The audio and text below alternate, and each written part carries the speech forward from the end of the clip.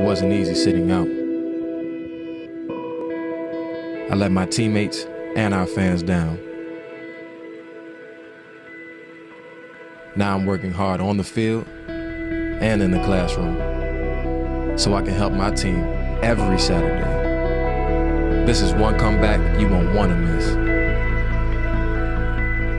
Watch us play.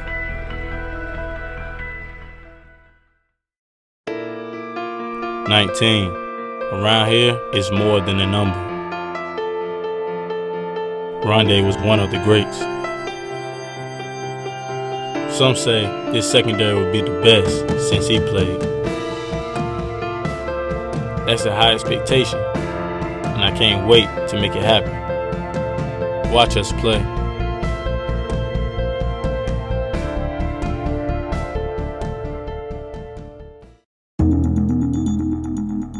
Growing up, I always knew what I could do. People told me I was too small to play. But hard work got me on the field. Returning punts, playing defense, I love the challenge. But it's sure fun having the ball back in my hands.